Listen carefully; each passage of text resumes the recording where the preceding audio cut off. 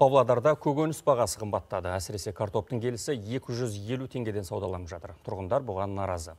Екінші нанның бағасы әсіресе ірі нарықтар мен шағын дүкендерде реттелмей тұр. Ал жергілікті билік өкілдері болса бағаның шарықтауы қалыпты жағдай екен айтты.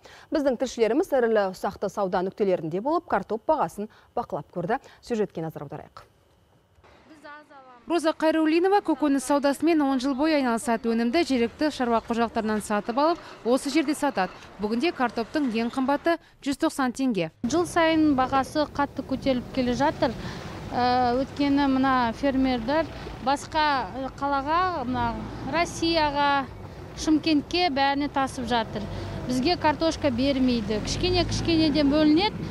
Например, 10 тонна, и то біз очередте тұрамыз. 10 теңге, 5 теңге қосамыз, көп қоспаймыз. Бұл видеоны картоп бағасына шағымданған павлодарлықтар жіберді. Бүгінде өнімнің көтерме бағасы айтарлықтай арзан болса да, қарапайым дүкендердегі жағдай осы. Өзіміздің картоп өзіміз үшін неге қымбат дейді олар.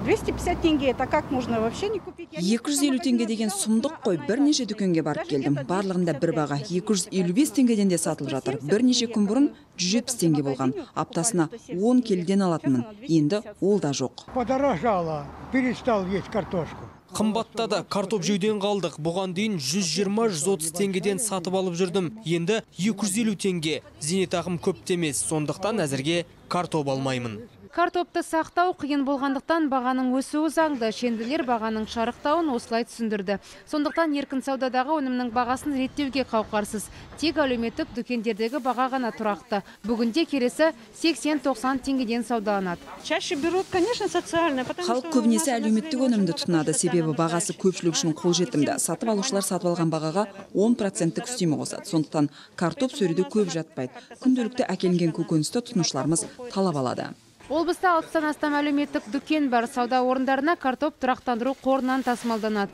Бүгінде қорда 850 тонна картоп сақтаулы.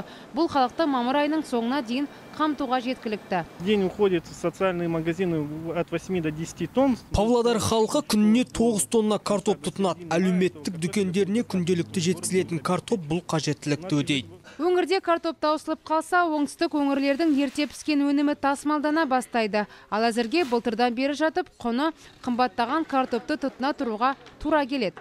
Ақмарал Есімханова және Марат Игіліков, қорытынды жаңалықтар, Павлодар облысы.